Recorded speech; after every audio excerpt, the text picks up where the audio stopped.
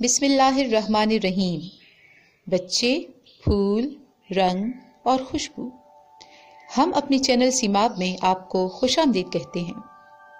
عزیز ساتھیوں آج ہم لائے ہیں آپ کے لیے کوئز کا ایک بہترین سلسلہ، جو آپ کے علم کے خزانے میں قیمتی موتیوں کا اضافہ کرے گا۔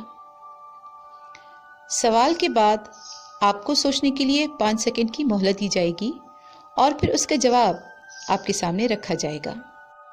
سوال نمبر ایک، غزوہ احزاب میں کس صحابی نے آپ صلی اللہ علیہ وآلہ وسلم کو خندق کھود کر لڑنے کا مشورہ دیا تھا؟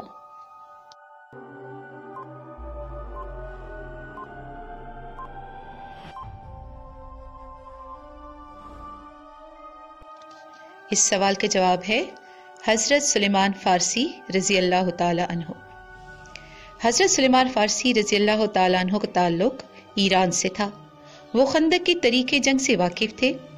ان کے مشورے سے مدینے کے شمال اور مغرب کی جانب تقریباً ساڑھے تین میل لمبی، پندرہ فٹ چوڑی اور پندرہ فٹ گہری خندق شب و روز محنت کے بعد بیس دن میں کھودی گئی تھی۔ سوال نمبر دو۔ سب سے پہلا مینار کس تاریخی مسجد میں تعمیر ہوا؟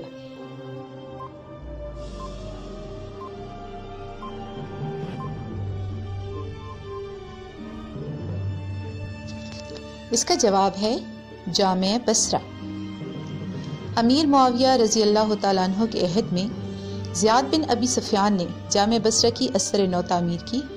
یہ تعمیر 668 عیسوی سے 672 عیسوی کے دوران ہوئی۔ اس کی دیواریں پختہ اینٹوں سے بنائی گئی چھتے ساج کی لکڑی سے تیار ہوئی اور ستون احواز کے پتھروں سے بنے۔ اسلامی تاریخ میں پہلی دفعہ اس مسجد میں مینار تعمیر ہوا۔ یہ عمارت بڑی مضبوط اور عمدہ تھی۔ سوال نمبر تین۔ پہاڑ کی اس چوٹی کا نام بتائیں، جہاں سے آ حضرت صلی اللہ علیہ وآلہ وسلم شب معراج کو آسمان کی طرف روانہ ہوئے۔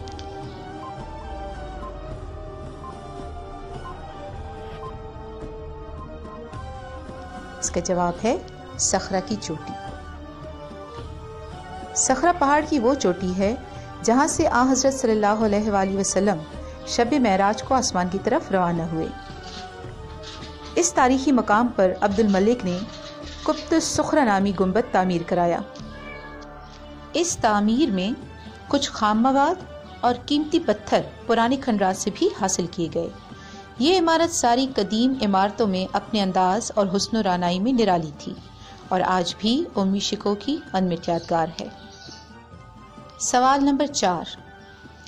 عربی رسم الخط میں سب سے پہلے نقطے اور آراب کس نے لگائے؟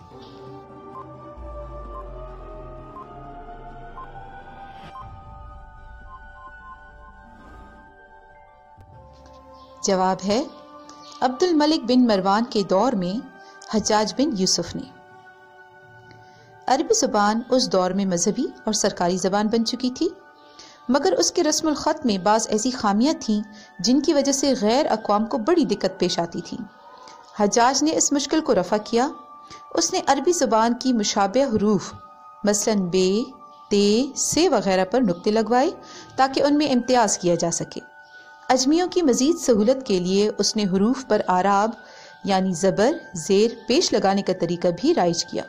اس سے لوگوں کو قرآن کریم پڑھنے میں بھی بڑی سہولت ہو گئی۔ سوال نمبر پانچ۔ کس صحابی کو رسول اکرم صلی اللہ علیہ وآلہ وسلم نے مستجاب الدعوات بننے کی دعا دی تھی؟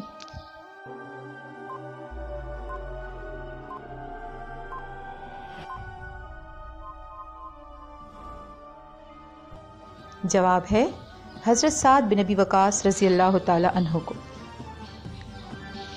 جنگ احد میں رسول اکرم صلی اللہ علیہ وآلہ وسلم کی ڈھال بن کر سعد بن نبی وقاص سامنے آئے۔ اس موقع پر جب قریش ہر طرف سے ذات اقدس پر حملہ آور ہوئے اور پتھر و تیر برسانے لگے، تو ایک طرف حضرت طلحہ رضی اللہ تعالیٰ عنہ ڈھال لے کر کھڑے ہو گئے اور تیروں اور پتھروں کی بچھاڑ کچھ ڈھال پر اور کچھ اپنے جسم پر روک لیتے۔